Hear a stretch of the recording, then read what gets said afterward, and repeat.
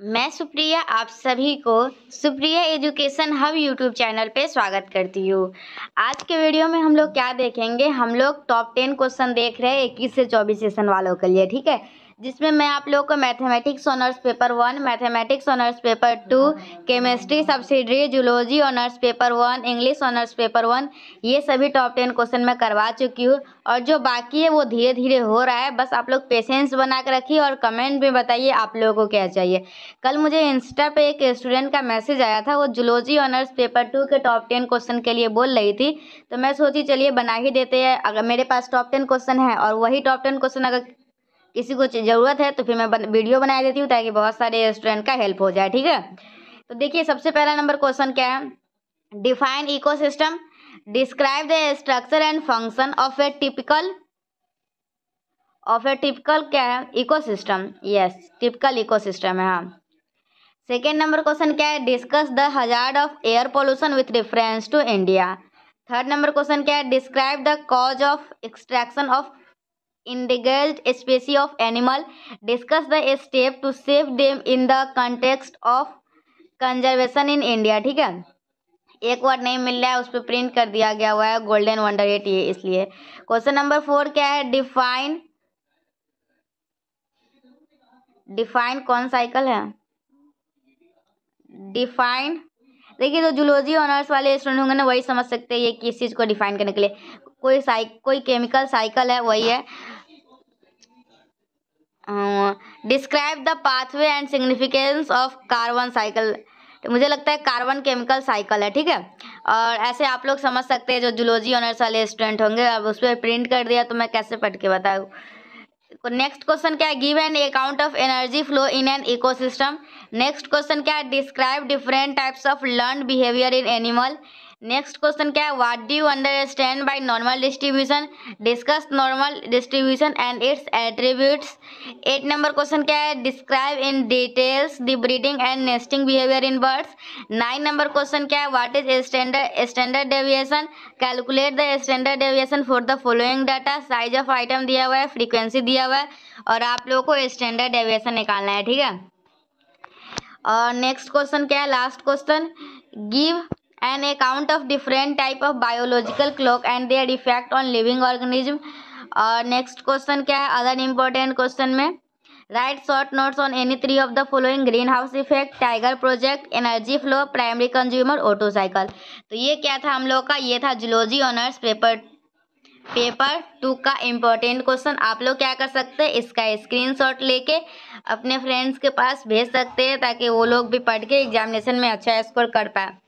और मैं जो आप लोगों को इम्पोर्टेंट क्वेश्चन करवा रही हूँ, ये golden wonder hit guess question मैं करवा रही हूँ, और मैं आप लोगों को बता दूँ, ऐसे इससे पीछे का क्या हिस्ट्री रहा है मुझे नहीं पता, लेकिन उन्नीस से बाईस सेशन के लिए मैं यही लाई थी गोल्डन वंडर हिट का ही, और बहुत सारे स्टूडेंट को दी थी, और बहुत सारे स्टूडेंट का यही कमेंट आया था कि क्वेश्चन टकराया है, ठीक है।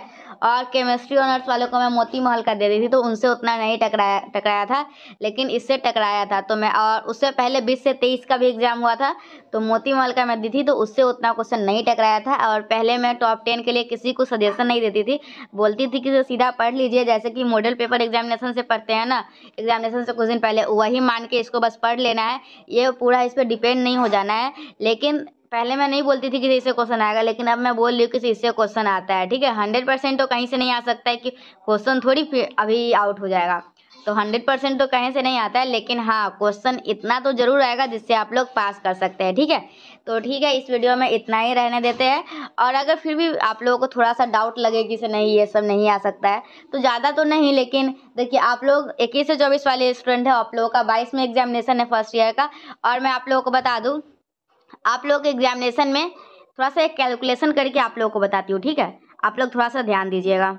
ये आप लोगों का मदद करेगा आप लोगों की तैयारी में। लिख लीजिए दो हज़ार पंद्रह, दो हज़ार सोलह, दो हज़ार सत्रह, दो हज़ार अठारह, दो हज़ार उन्नीस, फिर दो हज़ार इक्कीस ले लीजिए, ठीक है? इक्कीस, नहीं हाँ दो हज़ार उन्नीस, इक्कीस, फिर दो हज़ार बाईस।